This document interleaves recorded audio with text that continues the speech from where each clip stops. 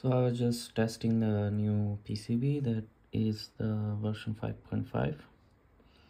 As you can see, I have this mess right now, but the display is working. That is one display from Raspberry Pi. As we know, the Raspberry Pi have two of them. So one display directly goes to this one and another one goes to this so finally this is my first time seeing both of the display working.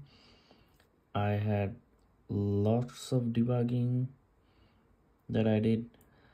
Uh, sometimes it was the power supply was not working then i had to use my uh, this uh, board as a power supply so 5 volt and 3 volt then suddenly i discovered the soldering was not working so i had to resolder a new board.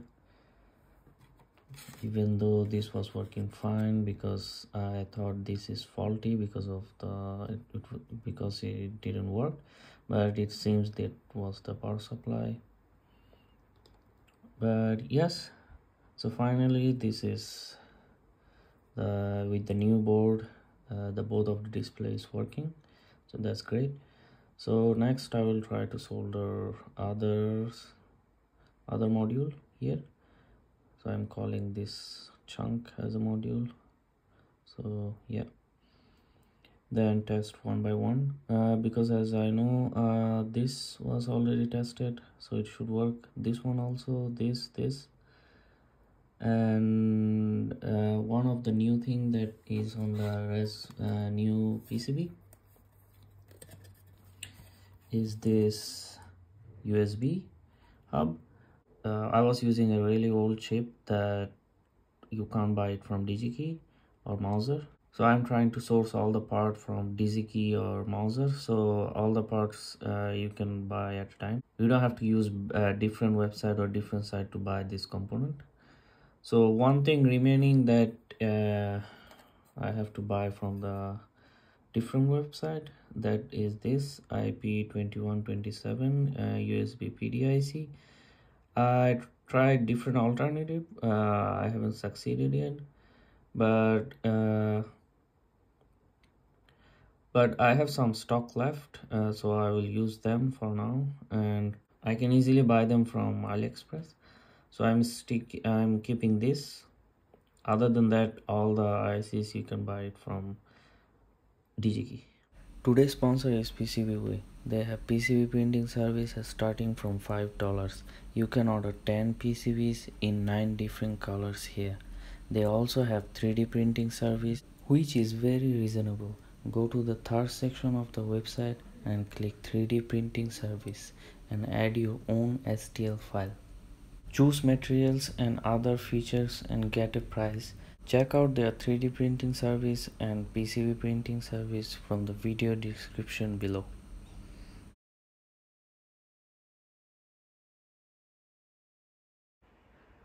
So another thing I discovered is with the Pine SOQuartz, the display doesn't work. I don't know why.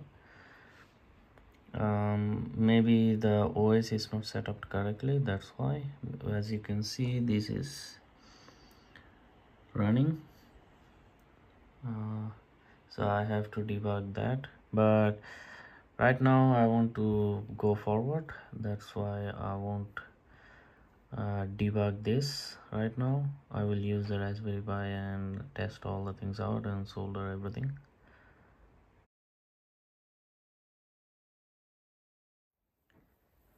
Right now I have this voltage regulator soldered uh, it's powered by a 12 volt uh, input. 12 volt is going here. Then it's converted to 3.3 volt and 5 volt.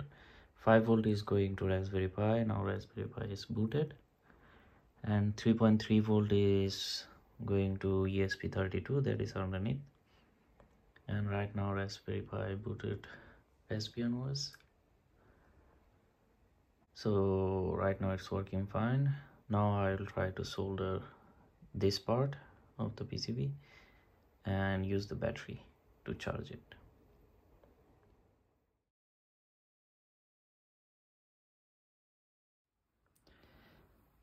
right now I have mutantC version 5 booted.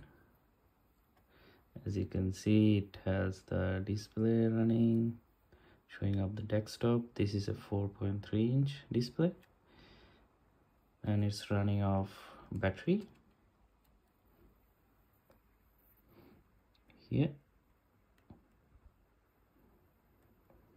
As you can see I uh, didn't solder the charging and everything there but it's running fine. As this is a test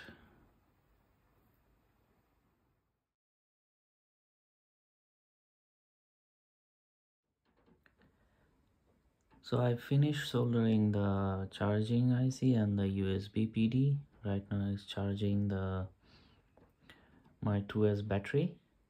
So that is 8.4 volt. And right now this is the status led that means the ic is working and right now it's charging. When charging is finished then the blue led will turn off but the status led will be kept on because uh, i have this plugged in. So that's my power bank.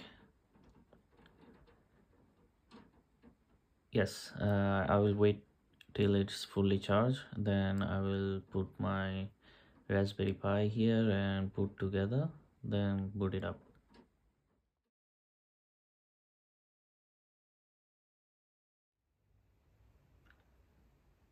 So this is my third time assembling it right now i forgot so many things. So right now i'm trying to test everything except this thumbstick because I was using this thumbstick uh, maybe for two years right now with the development. So the connection point of that FPC cable got damaged so right now I don't have any connection. Uh, I have to order a new part of this joystick but right now I just want to test the ones uh, working and try to show you guys so what I soldered right now here is uh, most of the essentials except the USB hub is missing. So I am using the testing port to bypass the USB hub and directly connect the ESP32 to Raspberry Pi. And other than that, I soldered everything, uh, but I don't need this expansion port and all the internet right now. So I'm testing it without them.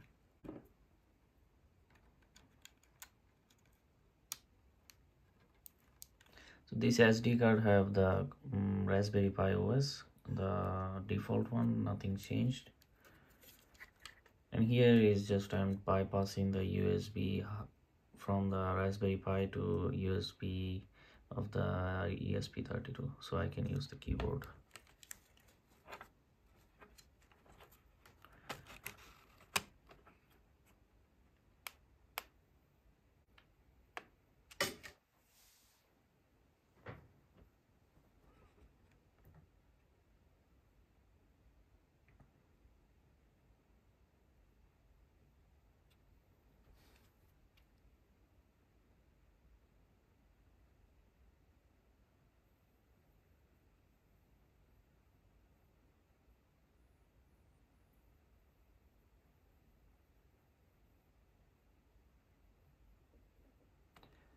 so mouse doesn't work because the thumbstick is not connected but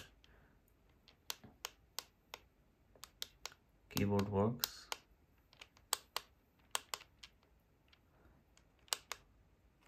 So I can maybe type uh,